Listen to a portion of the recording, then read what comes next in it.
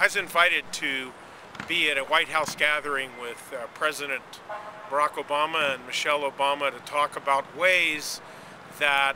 public and private universities working together with nonprofits and the business community could improve access for low-income students and improve the likelihood that they are successful in college completion.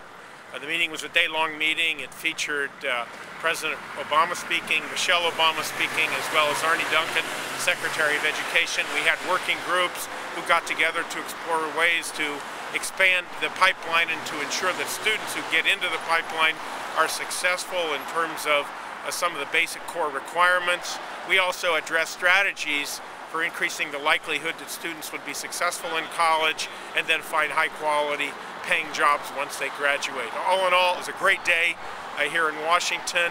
an opportunity to be in the White House and to rub shoulders with leaders from around the country who are pursuing similar strategies to ensure that we keep the American dream alive uh, for millions and millions of people so that they can get an education